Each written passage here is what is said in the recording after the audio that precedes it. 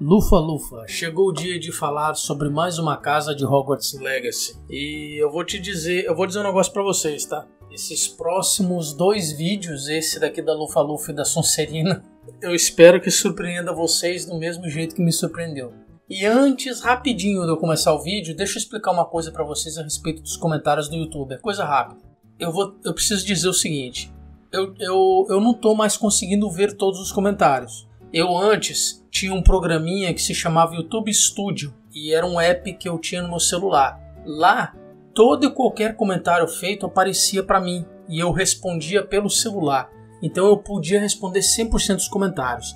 Aqui no YouTube mesmo, na plataforma, no navegador da internet, aqui no computador, é... infelizmente muitos dos comentários que eu recebo eu não consigo ter acesso 100%. E olha que eu entro às vezes no YouTube Studio para procurar lá, mas tem coisa que fica perdida. Então, provavelmente alguns de vocês devem estar tá notando que nem todo comentário eu estou respondendo. Mas a culpa não é minha, gente.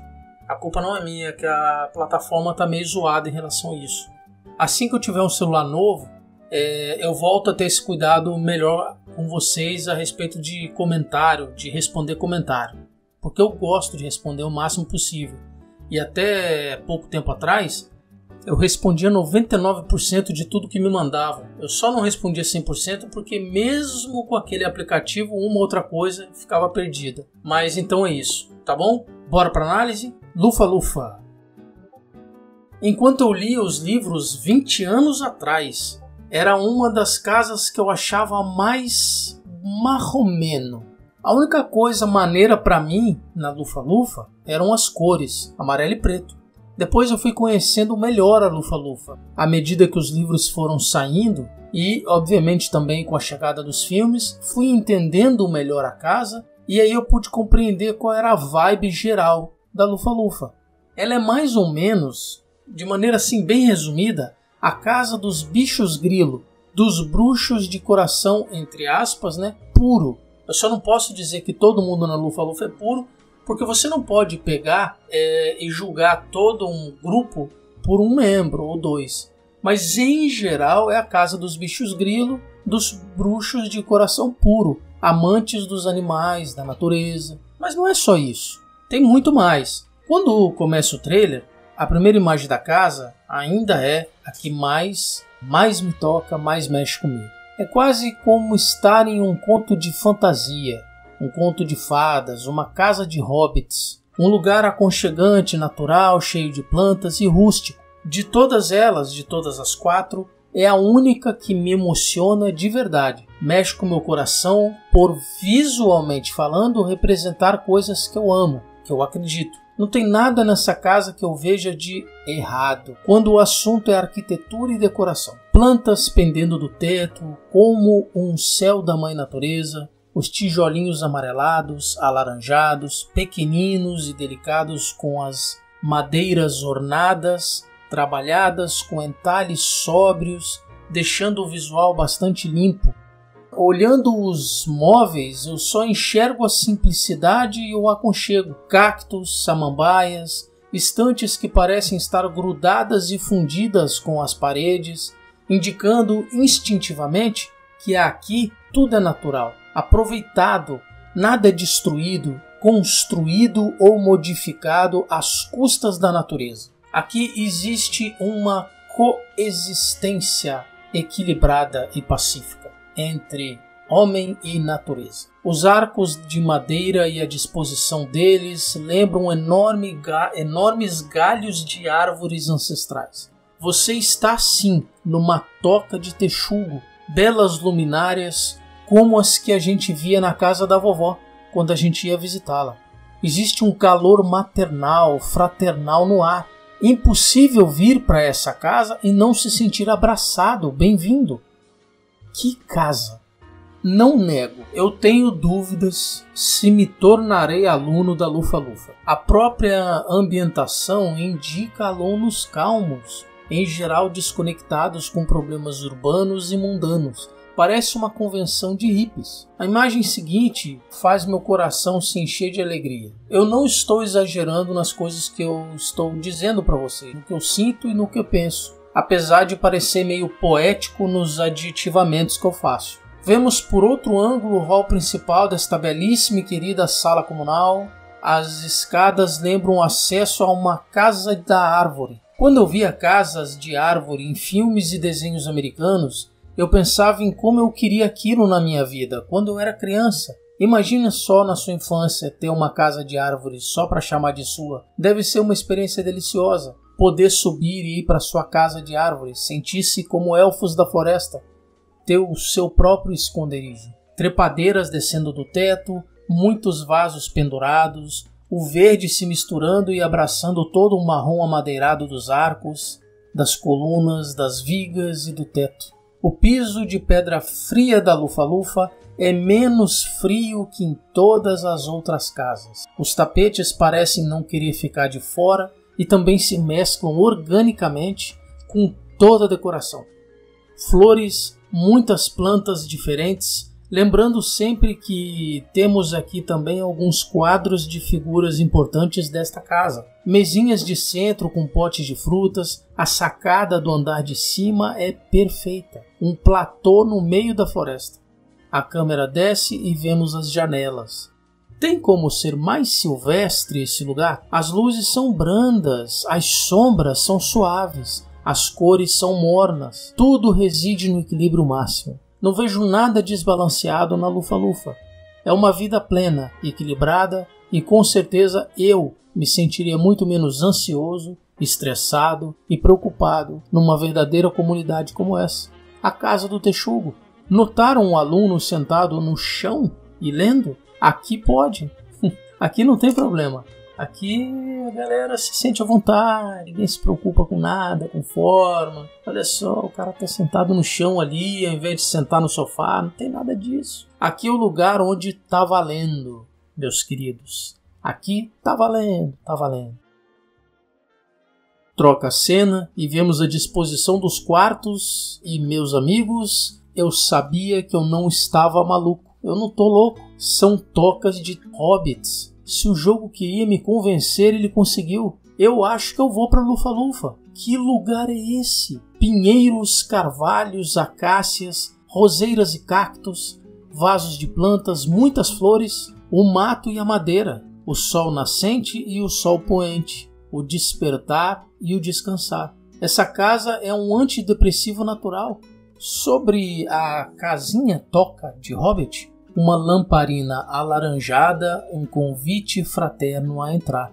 Vitrais acompanhando o arco das portas dos quartos, um lugar maravilhoso em meio ao estresse do dia a dia no castelo. As competições, provas, testes, a correria, um paraíso como suspiro e refúgio em oposição à realidade dura apresentada do nosso cotidiano. Novo ângulo, vemos as sacadas do andar superior com sofás, um pequeno abajur na mesinha de centro com a luna da casa. Entre as portas dos quartos, espaços para sentar, deitar, estudar, papear, com almofadas e a luz quente da casa. As paredes amareladas lembram barro batido e lixado, uma casa de João de Barro, uma árvore de esquilos, uma toca de texugo muitos locais para se colocar vasos, plantas e flores, galhos ocupando espaços e nenhuma preocupação.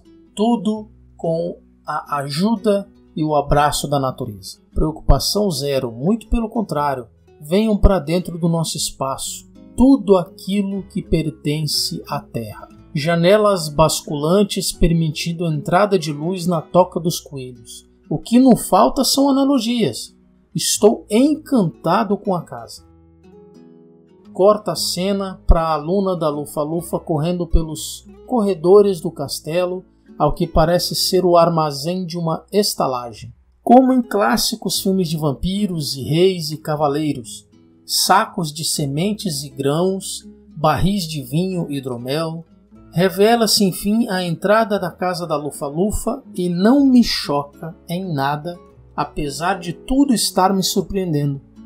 Um enorme barril de hidromel com duas carrancas de duendes, eu acho, que se destravam permitindo a magia das tábuas acontecer, quase que mecanicamente, revelando um corredor, também cilíndrico como na Grifinória, só que maior e com o piso reto, ao belo hall de entrada da Lufa-Lufa.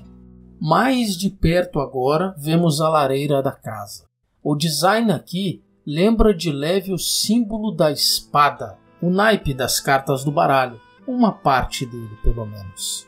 Os sofás parecem manchados, mas curiosamente não aparentam sujeira. É mais um manchado zebrado, como a pele de um animal. Tapetes circulares, retangulares, dispostos aparentemente ao léu, aleatoriamente, mas em perfeito equilíbrio com o clima geral da casa. Estantes com muitos livros, o regador cuidando sozinho das plantas enquanto é assistido por um aluno, e no manto da personagem principal em destaque, o pequeno texugo símbolo da casa, no robe dela. Adiantando um pouco, vemos um lustre com seu vidro entalhado, projetando luz e sombras belas no teto, compondo espaços não decorados. Alguns vasos lembram nozes, eu fico o tempo todo esperando quando vamos ver esquilos correndo aqui e ali. No fim dessa cena, uma pequena mesa individual de estudos, uma escrivaninha para ser mais preciso, com uma luminária verde, típica de bibliotecas americanas, talvez inglesas tenham também. Um globo old school para estudos e consultas. Muitas, muitas, muitas plantas sendo cuidadas, por regadores mágicos e até mesmo almofadas tipo puffs em um canto. Troca o ângulo para revelar a porta em arco que liga quartos do andar de baixo e de cima ao hall de entrada. Trepadeiras consomem os tijolinhos como guardiãs dos alunos. Pinheiros e arbustos e cactos compõem o restante da cena um grande baú dourado encostado à parede, lá no fundo da imagem. Possivelmente, pessoal, esse baú vai ser o baú do jogador, sabe? Aquele espaço onde você guarda os seus itens, baú do inventário, deve ser. Toda casa tem esse baú.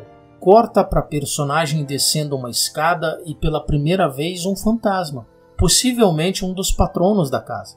Lembra um Frei, Confesso que não me recordo quem é o fantasma da Lufa-Lufa, mas esse fantasma lembra um frei, um frade, um frei.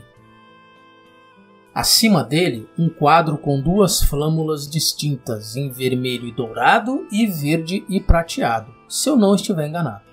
Ainda mais à frente, outros tantos quadros, a lareira vista de outro ângulo agora e alunos confraternizando no espaço comum, é possível ver melhor uma das luminárias e seu vidro trabalhado. É possível notar ainda melhor que as paredes são compostas de tijolinhos gastos e alguns trechos sem tijolos. É uma estética que francamente me agrada. Trechos estes com o tal barro batido que mencionei antes. Eu não sei se é barro batido de fato, mas parece. Antes de continuar o vídeo, galera, muito importante, para dar aquele gás para criador de conteúdo que não depende do canal financeiramente falando, é o like, inscrever-se no canal e deixar um comentário. Como isso dá um gás, ajuda, é uma motivação a mais para a gente continuar trazendo vídeos, sejam eles do tipo que forem, para o canal do YouTube. Então, deixa aquele joia tranquilo. Vamos seguir aqui com o vídeo da Lufa Lufa. Vemos agora a sacada de perto. A personagem está em cima da sacada e tem visão do hall principal agora. Como eu antevi, as plantas, as janelas basculantes, o teto solar, se você preferir, criam um ambiente onde o sol ilumina a densa floresta. Some a isso tudo os entalhes de madeira e a sensação de estar vivendo em uma enorme árvore, a árvore da vida. Senhoritas e senhores, apaixonei pela Lufa-Lufa. Muitas coisas a considerar. Não tenho mais tanta certeza se vou para a Grifinória.